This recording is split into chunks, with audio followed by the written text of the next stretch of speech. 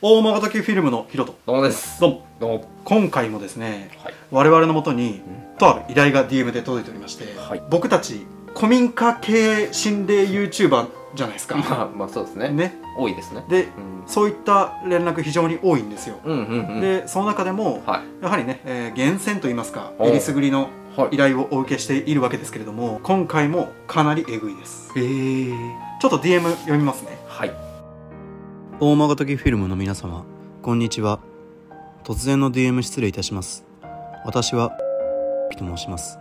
今回ぜひ大間形の皆さんにとある一軒家を調査していただきたくメールをお送りしました。その一軒家はもともと祖父母が住んでいましたが祖父母とも亡くなって以来長らく空き家です。この家は事故物件でも幽霊が出るとかでもないのですが私は幼少の頃この家で不思議な体験をしました。その当時年に数回この祖父母の家に預けられていた時の話です。私は一人っ子で祖父母の家に預けられても特に遊び相手もいないので一人でよく遊んでいたのですが祖父母の家は増改築を繰り返しており迷路のようないびつな作りだったので探検がてら家中を見て回っていました。するとおもちゃが置いてある子供部屋のような部屋を見つけたのです。そしてそこには私よりも2つか3つ年上の子供がおりいつも一人遊びに飽き飽きしていた私は嬉しく思い深く考えずその子とよくかくれんぼなどをして遊んでいました。祖父母の家に預けられる子供部屋に行くその子と一緒に遊ぶという流れを何度か繰り返していたある日その日もその子がかくれんぼをしようと言い出したのですが突然こんなことを言い出したのです。もし見つかってしまったら鉛筆で目をつぶす指を折るといったようなことを言ってきたのです。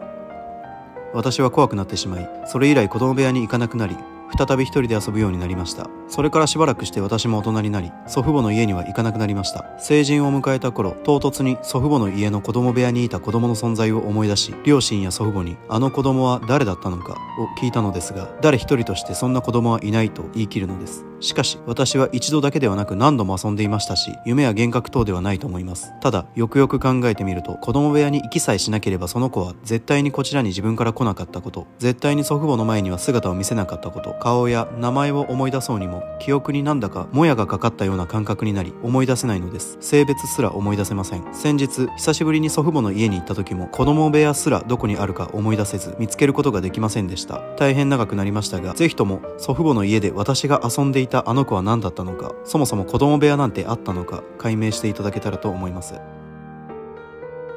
ということなんですよ。この文面だけを読むとさ、うん。いわゆるそのイマジナリーフレンドみたいな、ん。いったものが僕は思い浮かんだん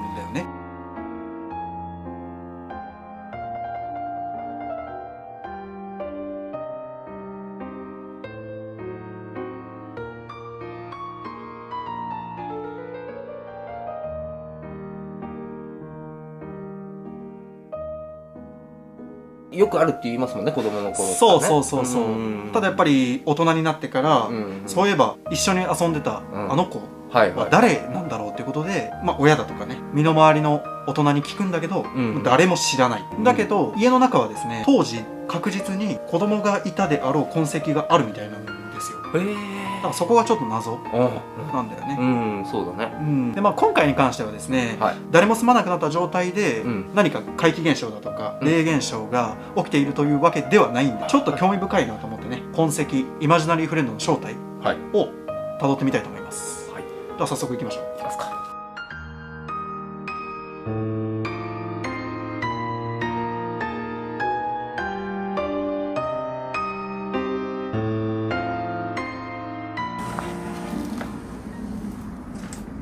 すごいねうん。じゃあ早速はい。行ってみようかいきますか。はい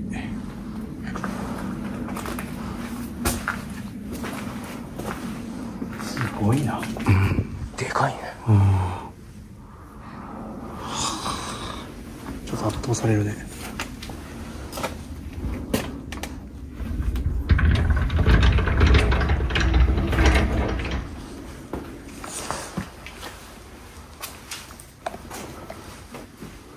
邪魔します邪魔します。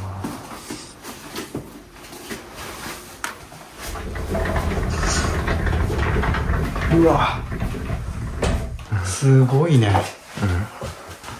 まあ古いね本当に古い。確かにこれは780年ぐらいそらく経っていてうん。うん。何よりも埃がすごいもうすでに埃がすごい舞っていて真っ白。多分動画にはちょっと映ってないと思うけど。まあでも床、白くなっちゃってるからね。ううんん。でもかなりね、うん。こう見てもらうと、凝って作ってあるのよ。ああ、この梁？確かに。相当お金かけて作ってあるよね。うん。うん。まあでも、こういう古民家でありがちなさ、うんカビの匂いはない。あ、じゃあもう雨漏りとかもしてない感おそらじなんだ。く雨漏りはしてない。状態は悪くないね。うん。誰も住まなくなった古民家にありがちだけどさ、うん。うん。やっぱりこうやって物置化しちゃうんだよね。あで、まあやっぱり空気がよどむんだよね。あ。うん。念というかさ、もうこれ、映像で伝わるかわかんないけど、うん。普通に何かいそうだもんね、全然。この空気の悪さ。確かに。悪い気が溜まってそうだね。うんじゃあとりあえず、はい。まあ僕らのね、当然目的としては、うん。その子供部屋はい。を探すことにあるんだけど、うんまあ一旦はちょっと、ぐるっとね、一周回ってみますか。はい。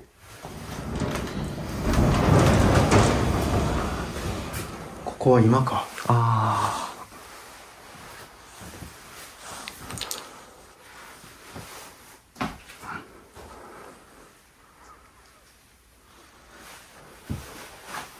まあ本当に当時の、埃すごいなあ。すごい。もう、もう見えるかなこの埃の。いやもうテーブルとか、キラキラキラキラって埃がね、とんでもない量を待ってる。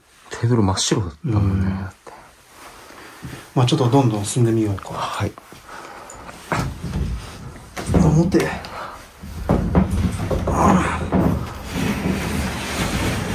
おーうわうん。ーおーここは、これは？仏間なのかな？ちょっともう隙間から嫌なもん見えてんだけど。確かに。わ、うーん、そのままのパターンかな。うーん、多分。家もそのままだし、うん。先祖代々。これ神棚だよね。あ、確かに。まあね、やっぱりこういうものをね、やっぱ残しちゃってる状態っていうのは、うん。まあ今までもよくあるパターンではあるけど、うん。よくはないよねう。ん。おー見えてるもんね。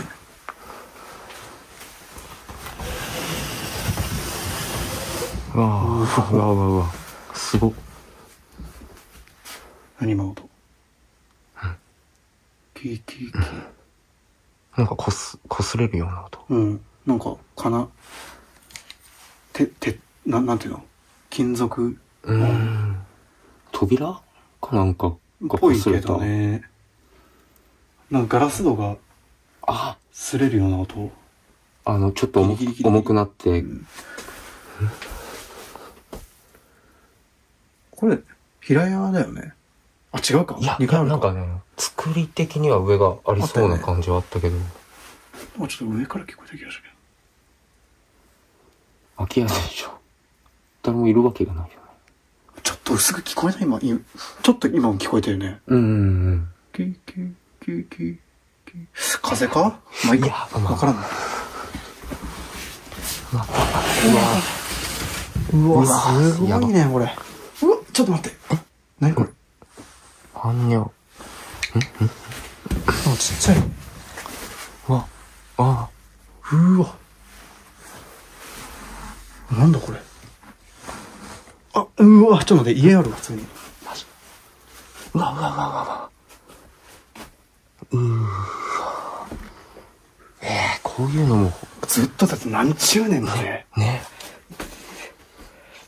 何十年もこのままだよ。マジちょっとゾワッとしちゃっこれ。ちょっと開けるか。た。大丈夫大丈夫かな？うわうわやっぱそのままだ。うわ、ほんと立派な。ね、めちゃくちゃ立派。うーん。何百万レベルのやつだよね。失礼します。ほら。うわすごい。あすごいわ、これ。なんかちょっと照らすのが、うん。わかる。ちょっと、はばかれるというか、うーん。ちょっと、歩みを進めよう。ああ、ちょっとなんか、嫌な感じしてきたな、若干。さっきの音が気になるね。うん。何の音だったんだろちょっと、子供部屋なんかあるか？あれ？板張りされてる感じ。ちょいけないなんだろうでもなんか、外観見た時よりさ、すげえこじんまりしてるような気がするんだよね。もうこれでおしまいだもんね。うん。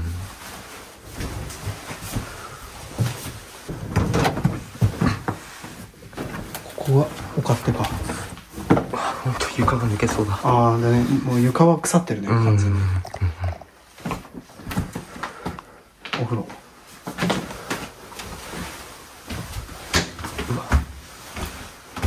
わー狭っあこういう感じなの L 型だ。ええ珍しい。まあまあ。やっぱり当時のものそのまんまって感じだね。そのままね。だって、ねえ。ねえ？え、また聞こえたくない？嘘マジ？俺ちょっと今分かんなかった。キーっつって。風いや、いや、風だったらさ、ん。ずっと聞こえてないとおかしくない？確かにっていうかあのねうん。もう正直言うけど室内から聞こえてるか外からってもう分かるからさ、うん。まあ、完全に室内だとは思う。なんだろうね。まあ、その原因もちょっと突き止めつつ、うん。いきたい。そっちか。さっきのもの、おああ、土間。おお出た。やっぱ2回あったんだ。うん。ああちょっと待って待ってことは、上から聞こえてたってことでしょ？うーわーでもさ、うん。1階の時点でさ、うんこの部屋なかったじゃん。うんうんうん。でも絶対上じゃん。いや、しかも、音がさ、うんしてたのも2階だとしたら、そういうことだね。ちょっとこの階段、ん登るの怖いっすね。うん待って、なんか。おおちょっと待って。聞こえた今聞こえた聞こえ聞こえた音音聞こえたよね聞こえた聞こえた。えちょっと待って待って。あ、お前違うか。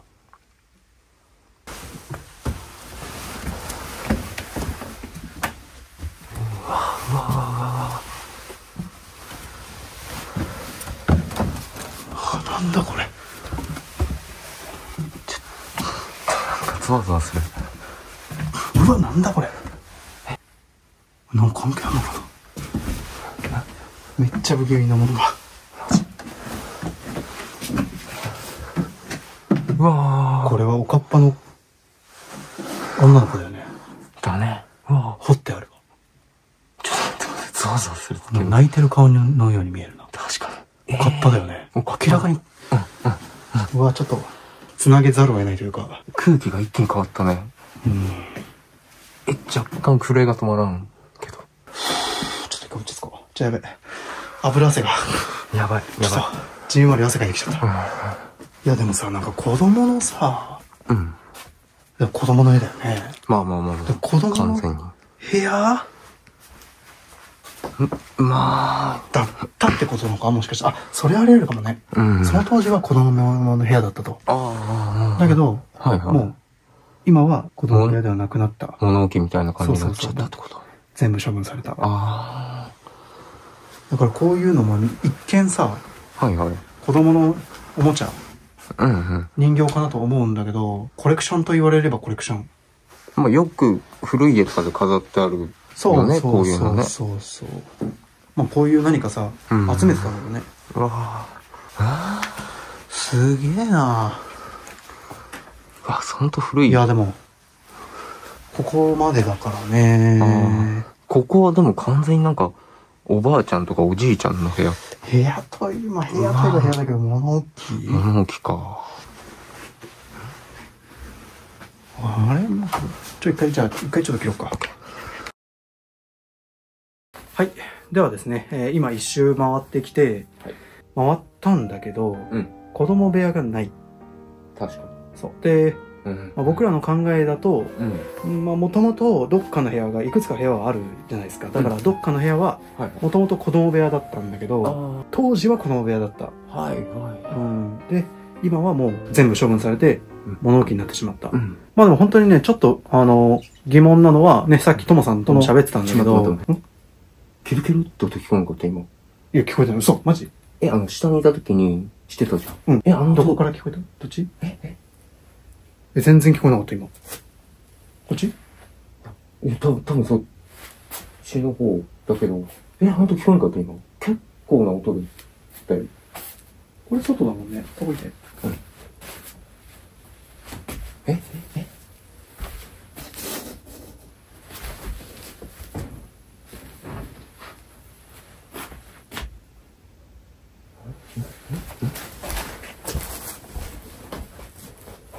え、でも音がするようなものはうんうんなさそうだけど。うん。いや、でも結構大きい音だったよ。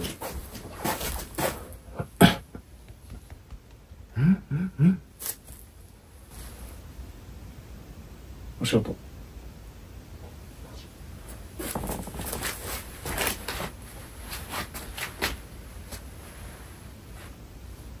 うわ通路、通路あるわ。マジ？うわ、マジ？でやば。ちょっと、やばいやばい。今、うわ、すごい。え？やば。これ通路だよ、こっち。マジ？え、それ扉ってことこんなことあるいや、いやいやいやいや。ちょっと、照明一個取るさ。あ、そっか。え、え？ちょ、本当に今ちょっと状況を説明すると、はい。子供部屋がないんだけど、まあ、さっきからね、ともさんと一緒に、うん。その、ないとはいえ、なんか部屋の数が足りないねって話はしてたんだよね。うんうんうん。外から見たときね。そうそうそうもっとでかいはずだもんね。そう、ともさんがまたここで下でも聞いたキュルキュルって音を聞いてる。で、こっちの、こっち側だったんだよね。う。うん。で、今僕がこの前、ここの前に立った時に、うん。この奥から足音が聞こえた。はい。で、ここの隙間から見てみたら、見てほら、通路。うわー開けるよ。うわー開けていいのかなまあ、しょうがないね。まあ、まあ、行くしかない。ちょっと待って、なんかす、ちょっと臭いかも。マジ？やばい、引っかかってる。うわ、ドア。いや、わかる。え、この音じゃないよね、キュルキュルって。あだって普通のこれドアノブだよ。あ確か変な部屋。何これ何この空間。やば。に。ちょっと待って。こっちから足音したんだよね。しかもうん、下。うわあ、マーラーマだよ、これは。ああ、あ、もう全然普通に部屋つなつながってるわ。あ、マジ？まあ、それは、そうだよね。まあこうなってなきゃおかしいもんね。まあでもおかしいけど、段差が。あ、ちょっとトイレみたいな匂いする。便所みたいな。すごいね、この作りは。うん、うん。あと、増設？増設だね。うん。うわマジか。この音か？違った。うん、うん。うわ、びっくりした。うん顔に見えたわ今。畳。初。じゃない？うん。下も畳だっか。いや、なんかカーペットカーペットか。しなかった。ここか？まだあるのよ。うわぁ。部屋にしちゃちっちゃいような気がする。まあ、子供部屋？和室。あ やばい、なんかどんどんどんどん洞窟の奥へ奥へ行ってるような感覚。あ。ね、迷路みたいな。うん。なんか。なんかちょっとすごい嫌な感じがする。うーん。開けるよ。うわうわうわうわうわ。いやー、な、何それ？何これ？病室じゃん。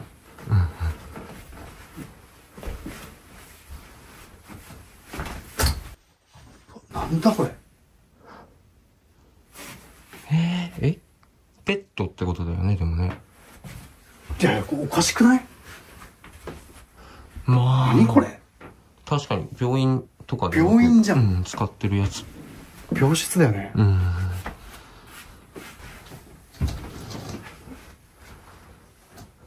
待って、子供部屋やん、ここ。子供部屋だよ。あ見て。あ。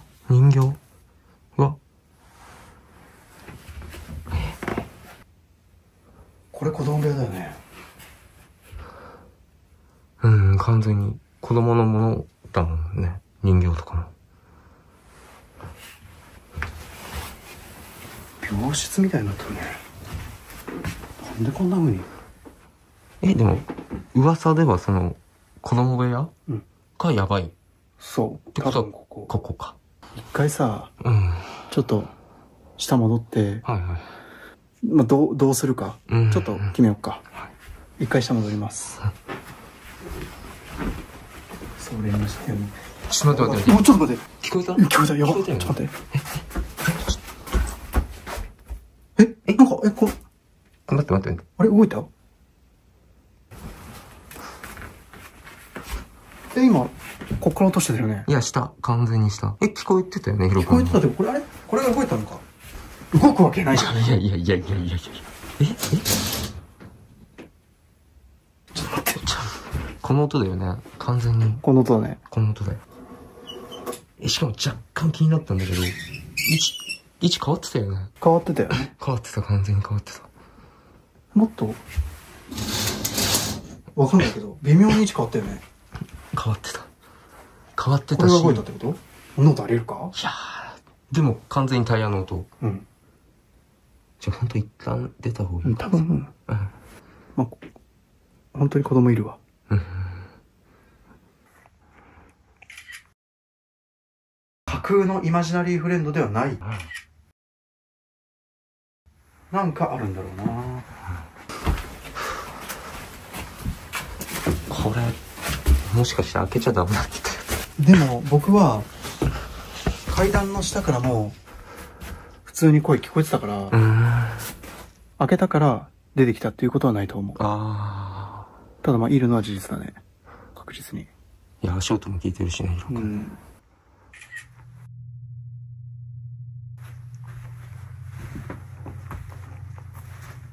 すごいうーん。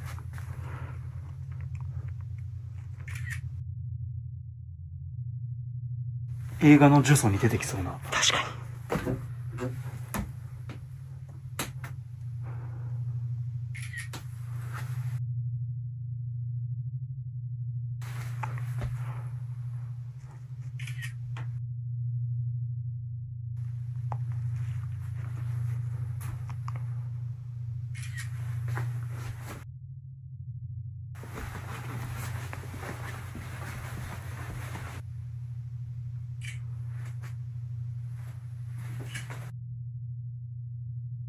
こうか一回ね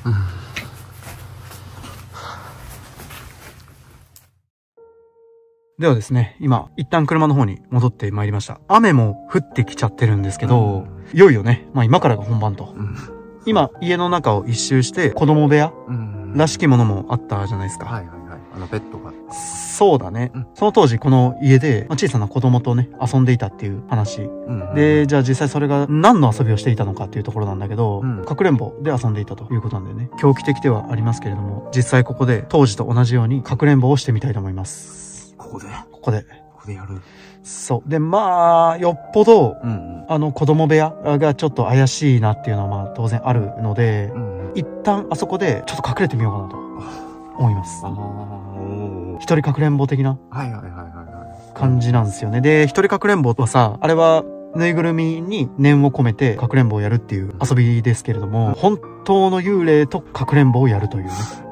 結構えぐいっすね。そそうです。まあちょっとね、なかなか初の試みではないかというふうに思うわけですけど、実際隠れてる最中にね、ちょっととともさんに電話したりもするので、うんうんじゃあ早速ね、幽霊とかくれんぼ始めてみたいと思います。ははい。